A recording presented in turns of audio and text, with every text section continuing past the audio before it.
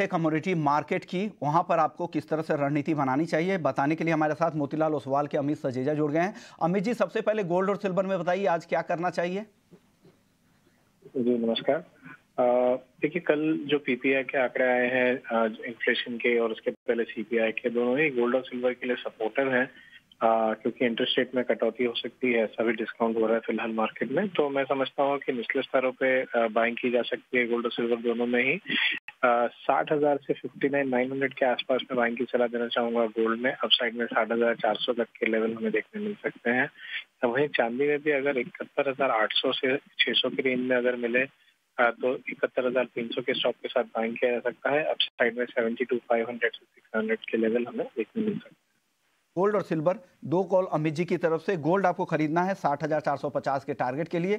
इस ट्रेड में आपको स्टॉपस लगाना है उनसठ हज़ार सात सौ पचास का और साठ हज़ार के लेवल पे खरीदारी करनी है। बाई की कॉल आज के लिए, इंट्राडे के लिए अमित जी की तरफ़ से। और चांदी भी खरीदारी की सलाह है। बहत्तर हज़ार के लेवल पे चांदी आप खरीदे। बहत्तर हज़ार आठ सौ के टारगेट के लिए इस ट्रेड में आपको इकहत्तर हज़ार पाँच सौ का स्टॉपस लगाना है। कच्चे तेल की बात कर लेते हैं। अमित जी कच्चा तेल कल दबाव दिखा था करीब दो परसेंट तक की गिरावट दिखी थी। यूएस में रिकॉर्ड उत्पादन हो रहा है, स्टॉक्स के नंबर भी बढ़े हैं वहाँ पर। क्या लग रहा है कच्चे तेल की जो ये गिरावट है और बढ़ सकती है क्या? 80 डॉलर के नीचे ब्रेंड भी आ सकता है क्या? और एमसीएक्स पर क्या करना चाहिए आज? जी, बिल्कुल। ऐसा लगता है कि जो गिरावट है यार गिरा सकती है। अभी हमने दिसंबर वायदा में रोल ओवर किया है एमसीएक्स पर। तो यहाँ पर मैं करीबन छः हज़ार चार सौ पचास के आसपास सेल की सलाह देना चाहूँगा छः हज़ार के लगभग तीन सौ तक के स्तर भी हमें देखने मिलेंगे, ऐसा मुझे लगता है। मैं डब्ल्यू टी क्रूड की अगर बात करूँ तो ऐसा लगता है करीबन सेवेंटी थ्री डॉलर तक की प्राइस चल सकती है या ब्रांड की अगर बात करें तो लगभग सेवेंटी सेवन डॉलर तक के स्तर हमें शॉर्ट टर्म में देखने मिलेंगे। तो मैं सेवन दारी की सलाह देना चाहूँगा। यानी आपको यहाँ से लग रहा है कि साढ़े तीन चार डॉलर की गिरावट ब्रेंट में और एमसीएक्स में जिनको ट्रेड करना है उनके लिए आज सलाह ये है कि 6340 के टारगेट के लिए आप बेचें।